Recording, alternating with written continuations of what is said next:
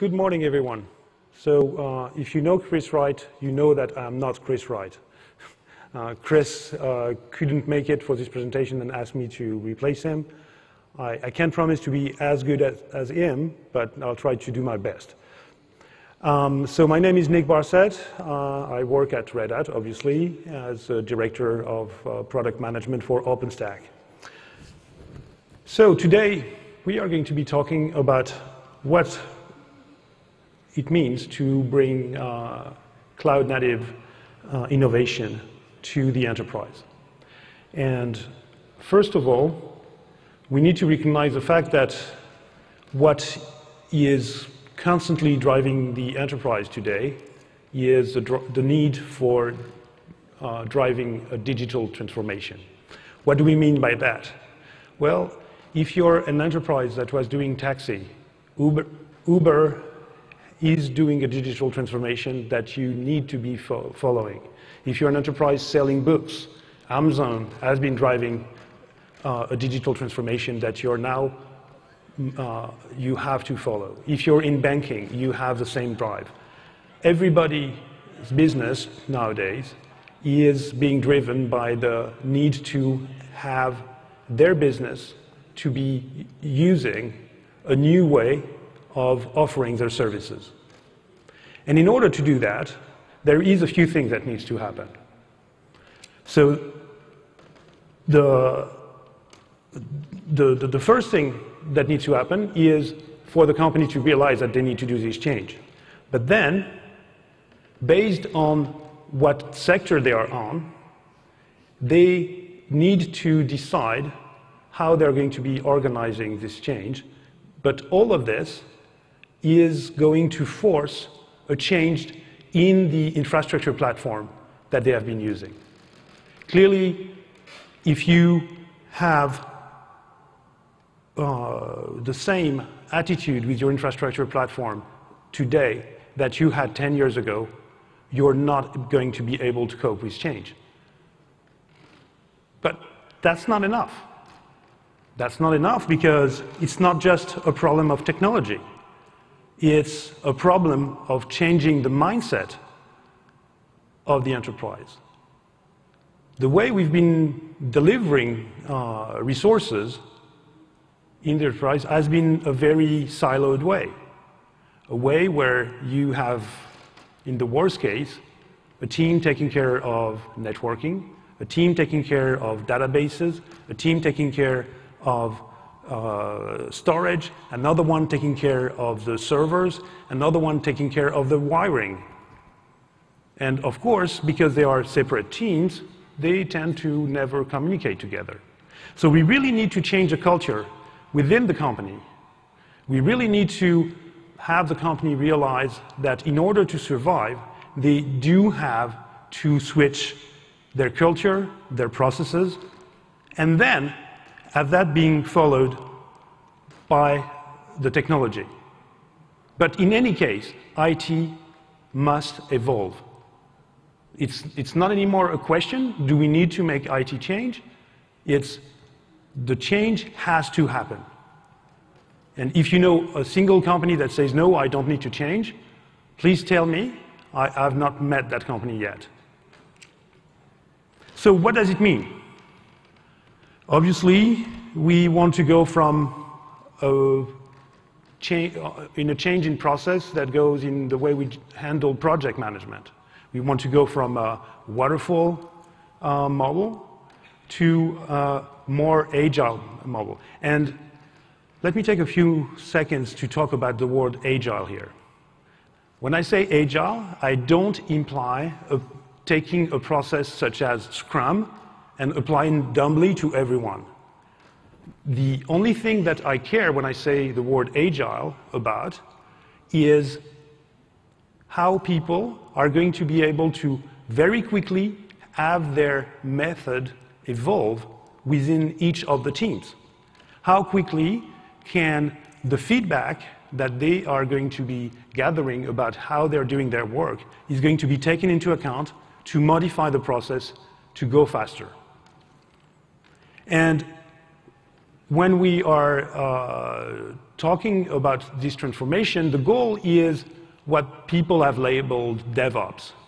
But if I take the case of Red Hat, DevOps doesn't really make sense because in our process, we don't have ops and devs, we more have dev, QE, PMs, um, uh, uh, support engineers, consultant. All these guys need to work together. So DevOps is not uh, more than something that is a, a reference you can uh, use to talk about the same change, but it needs to be adapted. Agile is not Scrum. Uh, agile is you need to be able to adapt quickly. Another change that you need to do is in your architectures. The way you conceive your applications needs to be evolving. You need to go from big monolithic applications that scale vertically to uh, n-tier uh, to eventually get to microservices. You also need to change the way you deploy. We were deploying before on physical servers. We need to evolve to virtual server and eventually to containers.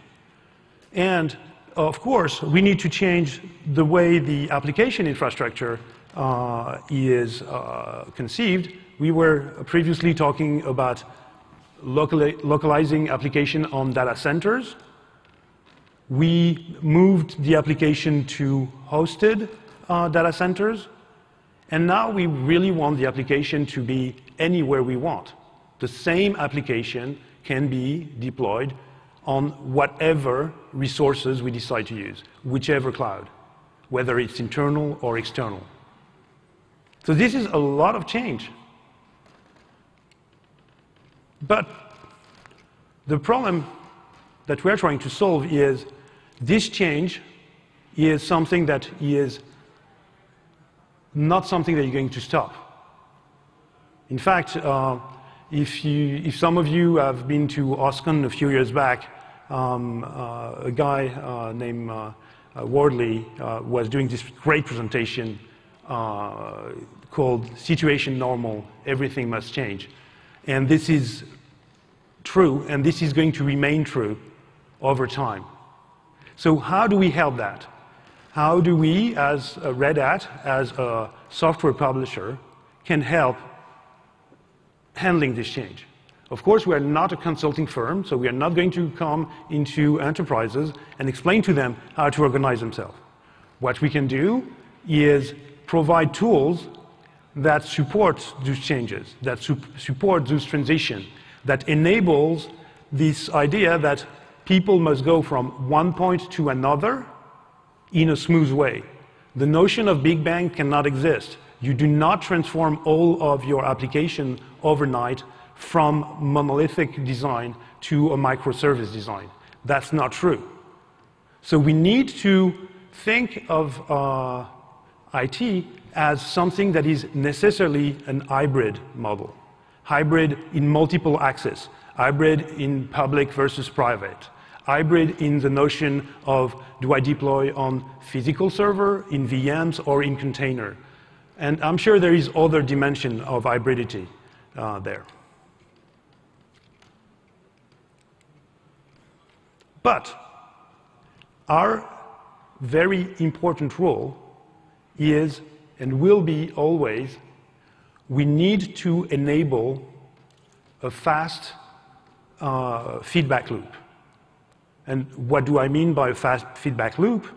We need to do something, deploy it as quickly as we can, get the feedback, analyze the feedback, take corrective action, and do it again. And the quicker we go in this loop, the better uh, we are. So I'd like to take uh, uh, a few seconds to give you an example, the, the, example that we are currently living within Red Hat. Um, when uh, I arrived at Red Hat after the acquisition of eNovance, Red Hat was producing OpenStack the same way Red Hat had been producing RHEL for the past 15 years. And one of the things that I realized at this time is our time for delivery of a feature was about a year and a half. From the moment a partner, a customer was asking for a feature to the moment we were able to put it in their hands, because of our internal processes, it would take a year and a half. And guess what? This is exactly the time you have between two RHEL releases. And that meant that this process that was in place was perfectly fitting the slow pace of RHEL at the time. But the reality is that we were dealing with a project called OpenStack, maybe you know about it, um, and this project has a six-month life cycle.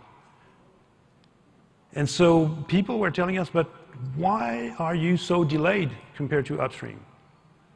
And the, the time to uh, delivery for a feature, uh, uh, a year and a half, was a lot of preloading, but also a lot of post-loading. Between the time an OpenStack release was made and the moment we could ship it, it would take six months.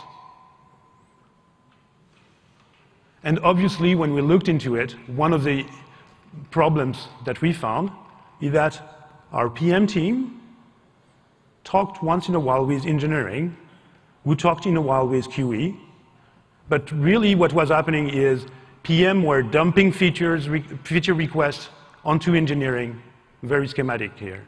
Uh, and engineering would develop, dump their stuff to QE, QE would test, and eventually then we would be able to ship. Unfortunately, this was not working anymore. So what we did was to say, hey, we need to change that model. We need to organize teams in a way where the end-to-end -end delivery of a feature, of a set of feature, or a component is the common goal of a team mixing people from PM, from uh, engineering, from QE, and involve documentation, support, and all other things as early as possible. And of course, the transformation was not that easy. It was very hard to explain to people why they needed to change the way they worked. And in fact, even with the best intent, people were always thinking that we had some evil mindset behind it, that we were trying to bother them just for the sake of it. And we had to wait for crisis, identify them, to make people realize that this is why they need to change. And this transformation is not complete, but already we've changed our time to market for a feature from a year and a half to eight months. It's huge progress. And I hope to be able, with the team, to reduce it even further. But this is just an example of the transformation that we had to do, which is an example that every industry has to go through.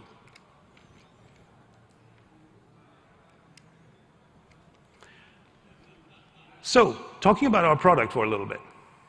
How do we uh, transform the traditional application stack? Traditional application stack, you've got physical hardware that runs an operating system, RHEL by preference, of course, um, which can be software that comes pre-compiled or with a runtime environment. Lots of people are using Java or other uh, interpreted languages.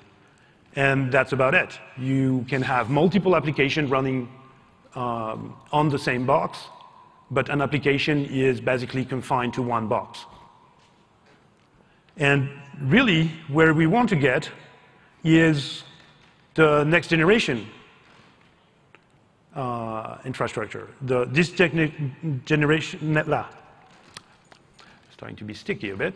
Um, this next generation uh, application stack can be uh, represented as the base layer is not anymore the server, it's the data center. The layer on top of it is the VIM, the Virtual Infrastructure Manager, OpenStack in our case. The layer above is either directly application running within VMs, or we introduce this notion of application orchestration. And this is why everybody is talking about Kubernetes or similar technologies. And the reality is that going from the previous model to this model does not happen in one day.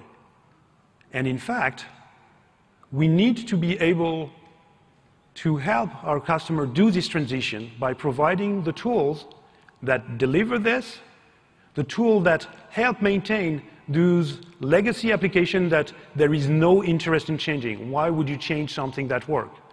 While being able to enable these new applications that are going to be communicating with this old application work well together. And every time I hear somebody telling me, oh, tomorrow all applications are going to be designed as microservices running on Docker, uh, started by Kubernetes, I'm telling this guy, hey, you should really go spend six months at a customer, see what's the reality there. I know no customers that have more than a single application to keep, take care of that have been able uh, to do a complete transformation even over 10 years, even over 20 years. I mean, 20 years ago, what I was hearing when I, 30 years ago now, sorry, when I started working in computing, I heard, hey, tomorrow there will be no more mainframes. Everything will be done through the client server model. Where are we at now? There are still mainframes. And there will be, again, mainframes in the future. And as there will be client server application, because why change something that works? If, you, if the digital transformation is important in the way you, you change your process, but if the application works well in the context of that digital transformation, there is no economic reality that is going to justify modifying what exists. So really, enabling the transformation is what we do. And how do we do that more concretely? Well, first of all, we are transforming the role of the OS. The OS remains very important in any case, whether the OS is what you use when you're inside of a container, or the OS is what you use when you're inside of a VM, or the OS is what you use when you're addressing your individual server in your data center, there is still an OS. It is still the thing that makes the virtual world talk to the physical world. It is still the thing that is making the transition. But what we can do is modularize that OS so that only what is needed is installed where it is needed. A first example of this transformation that we are doing in uh, our OS uh, can be embodied by what you see in the Atomic server, our uh, server dedicated to run containers. And we are going to be evolving on that principle a lot in the next few years.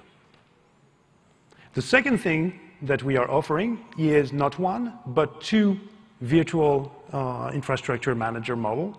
One which is based on OpenStack, and another one which is based on uh, still KVM, but a KVM model that is closer to traditional virtualization. But why, why are we doing this? Because we know that some applications need the old virtualization model to build their uh, fault tolerance model. And as we progress, it is clear that OpenStack gets more and more fault tolerance for application uh, functionality. And there will be a point where the two products will be merging in one way or another because we will have feature parity between the two.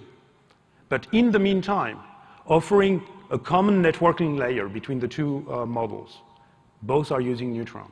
A common storage model between the two uh, frameworks, both are using Cinder is the way we help the companies that are transitioning from one model to another to maintain continuity between the environments.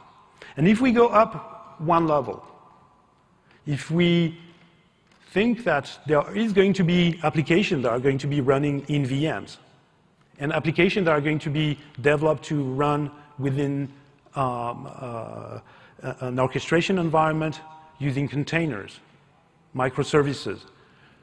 These microservices that are running either on top of RHEV or on top of OpenStack, do you think they will need to talk with their VM application or even with the bare metal application that the company is still deploying? Yes, of course. It's not because your database is still hosted on some mainframe that the microservice application won't need to be able to talk to it.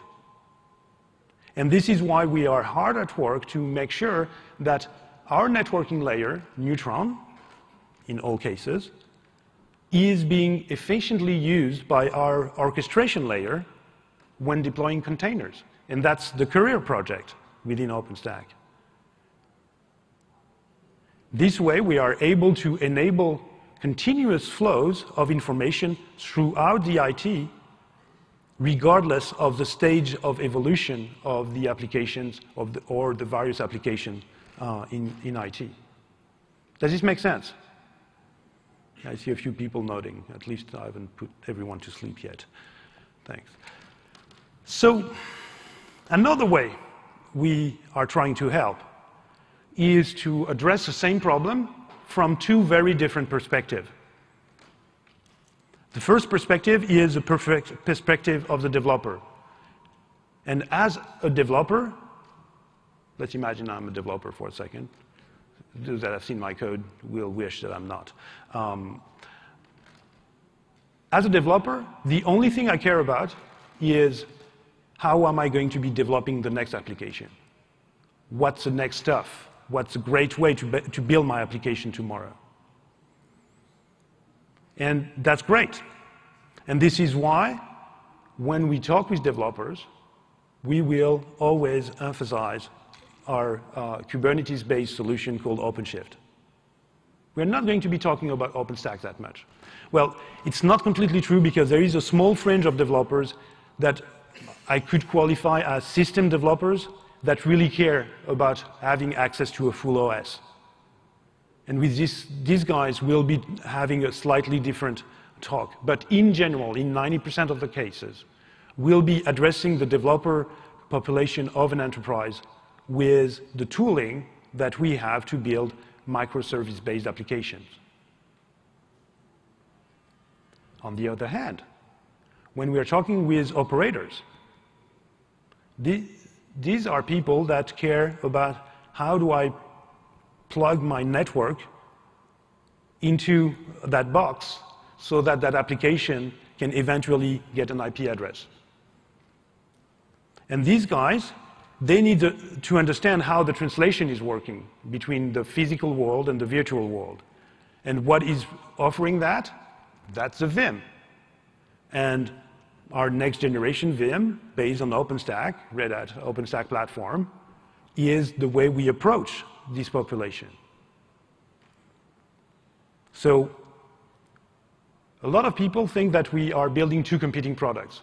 And in fact, if I take a poll internally at Red Hat with the developers that are developing each, a lot of them think that they are competing uh, products because, hey, they are doing roughly the same thing. They are putting bits, bits in a box. So box equals box equals competition. But that's not the case. They are building a tool that is complementary. People that tells me, oh, tomorrow with Kubernetes, I'll be deploying on bare metal servers by the thousands and I will have no problem. Well, those people have never looked at what it meant to be interacting with the physical layer, or with an SDN, or with hundreds of storage uh, vendors. One of the fantastic strengths of the OpenStack project is not coming from the quality of its code. Whether it is good or not doesn't really matter at this stage. the real value of the uh, OpenStack uh, project is coming from A, the variety of the, uh, of the contributors, B, the ecosystem that has formed around it, and the variety of options that you have when you deploy OpenStack, regardless of storage, networking, whatever. What's really important in there is that we are solving the virtualization problem independently of the application story, and we have a great tool in the middle, this orchestrator, Kubernetes, as we made uh, a strong choice there, that is offering the uh, point where the two are meeting. And we are actively contributing to Kubernetes um, to offer all the bridges necessary to ensure maximum transparency between the models. I mentioned Kuryr, but the same efforts have been done in Cinder, in Manila, and there is going to be more.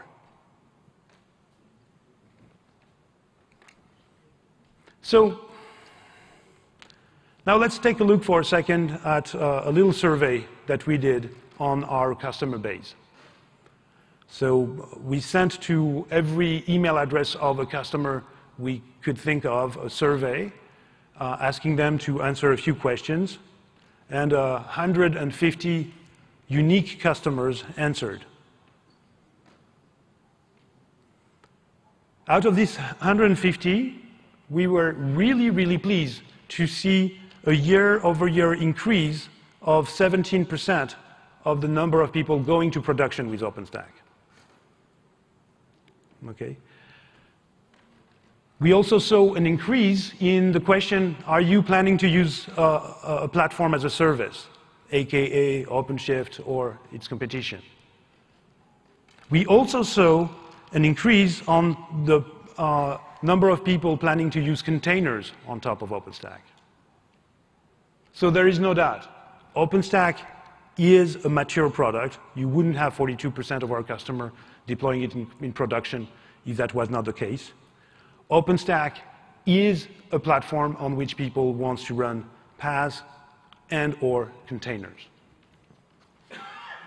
Another uh, question that we ask is, where should we invest? And we made a very stupid mistake of asking a two open questions. The first one was, do you think that simplified installation is important? We got 69%. But did, we, did they mean installation of application on top of the cloud? Or did they mean uh, simplified installation of the cloud itself? Well, I can bet that we have, again, this ops versus dev point of view here. From the dev side, simplified uh, deployment of my application is obviously going to be my main concern. From the ops side, simplified deployment of my OpenStack platform is, of course, going to be my main concern. So yes, they are all caring about that, and I don't think we learned much about it, except that I could talk for five minutes about it. Um, now, 55% of them were strongly in favor of having support for complementary solution. None of them think that there is one project that will rule them all. And it shows that in many ways, our customers, with their business needs, have a much clearer picture of what their tomorrow is going to be than we have, at least from the perspective I have from within Red Hat. Also, 53% um, told us it was very important for them when they were selecting a, a vendor that it was that their vendor had some type of leadership in the communities for which they were building products upon. And yes, if you're building a product, if you're building the, your, a product based on community bits, you'd better be participating actively in that community. That doesn't mean that you need to rule it. I mean, um, there are, if you look at Red Hat uh, as a wide uh, contributor, Red Hat is sometimes the leader in contribution to some projects. Red Hat is sometimes one of uh, the uh, main contributors. But in all cases, we always prioritize the investment in the community over anything else. In fact, you must have heard that a hundred times, but we have a base philosophy which is let's do things upstream first. And why do we want to uh, focus on this idea of upstream first? Because it is the only sustainable way to build a product on top of community-based bits. I, if you want, after this, because I don't like to name people uh, on stage, I could give you the example of at least five companies that were uh, highly involved in the early stage of the uh, OpenStack project and that have completely disappeared from the scene. And in every case, they had one thing in, in common. They were forking. They were building add-ons as monkey patches or whatever uh, technology they decided to use. And who is remaining now? Only the guys that really got it. In fact, I'll give you an example uh, of a very, very positive evolution of our community. But in any case, we need to be focusing on the core services within the upstream community. We need to be adding the value that our customers are ask, asking for by working on our influence in the community. If a customer is asking me for a feature and nobody re recognizes me as a valid contributor to that community, what are the chances that this feature is going to get in? Of course, our role as a distribution of an upstream community is to be mitigating the risks.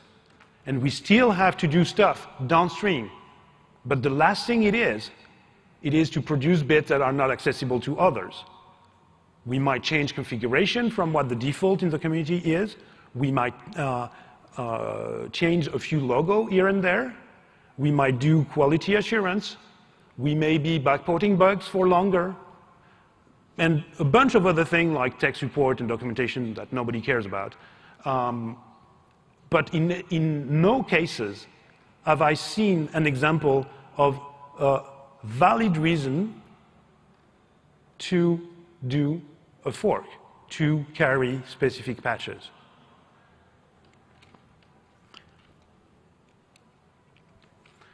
When you look at our investment in some of the communities that we have, these are not scientific numbers. They, they can be contested in many ways. But one thing remains.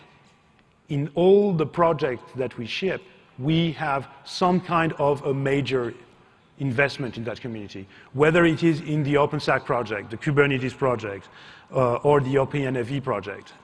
We get people on the ground contributing code to it. I don't think anybody can contest that, and I think I've explained why. So one question is, hey, as a user, as a customer, as uh, a partner, how can I help? Or I could formulate it in another way. How can I get this one thing I really care about that nobody else care about? And my simple answer is, come on, join us, contribute upstream.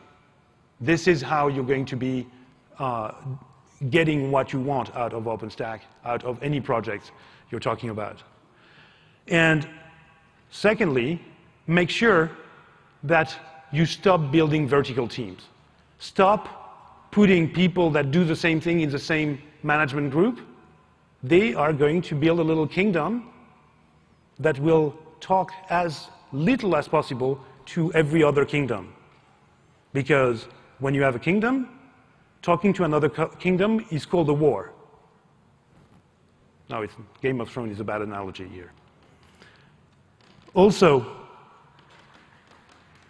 when you're building a dev team or an ops team that is going to be involved in OpenStack, don't expect them to only be servicing your cloud need. please give them time to contribute back to the OpenStack project because this is how they're going to learn more about the OpenStack project. This is how the OpenStack uh, project is going to better suit your own need. And this is how we are all going to be more successful together. And a very good example of this is the announcement that we made uh, last week, just before Summit. It's a very good example because it's a case of a major vendor with whom we've been working for ages that has tried other models and finally came to realize that contributing upstream first was the right way to go. And we've announced that we are going to be working together on this contribution. We are going to be helping them on learning the processes. They are going to be helping us in bringing years of uh, expertise in an area where we are not experts. In fact, Red Hat is experts in many things, in so many things that we are experts nowhere. We are very good generalists. So having a partner such as Ericsson uh, to help us succeed in uh, uh, multiple markets, including the enterprise, including the telco market, is really a great thing for us. And thankfully, all the efforts that we've put in the past five years are starting to pay off. At last summit, we announced a few customers, not very significant, only four of them, if I remember correctly. Well, yesterday, hello? Yesterday, I don't know if you noticed, but we made a, a small announcement where we announced four more. Um, I don't know if you've heard of BBVA, at least if you look around uh, when you walk uh, in the city, you should see a few signs. Uh, it's uh, a major bank in Spain. Um, you might have heard of uh, Betfair. Betfair is uh, the largest betting platform, I think, in Europe. They are handling 130 million transactions per day, if I remember correctly, which is huge. And they are doing it completely on top of OpenStack. You certainly never heard of Produban, but Produban is the IT arm of Santander, and I think you've heard of Santander, uh, another major bank, and CA Mobile. And we are also announcing another wave today of customers that have decided from the telco world to work with us. So it's not just anymore the idea of working together. It's concrete example of people that are satisfied enough of their experience with OpenStack that are coming up telling the world, hey, we are doing it, and look, we are having incredible business returns based on this work. I don't know if you've read the, the, the, this present, great presentation that was done, I don't even remember where, I think it was OSCON, um, titled No CEO Ever. But clearly, having a customer be displayed, what happened there? Be displayed uh, on this list is the demonstration that the CEO did see value in the end result of a transformation that we helped them initiate. That this transformation was successful, that we were able to provide the value that they were expecting. So this concludes my presentation. These are the sessions that you missed, done by other Red Hat guys uh, yesterday. Don't worry, there are more to coming today. There are plenty of sessions uh, done by Red Hat guys, so I invite you to come and see them. And uh, yeah, the, the schedule is starting to run by itself. I don't know why. Interesting. Anyway, thank you very much for listening to me. I think I'm out of time for questions in the audience, but I'll remain around for a bit if you have questions. Thank you.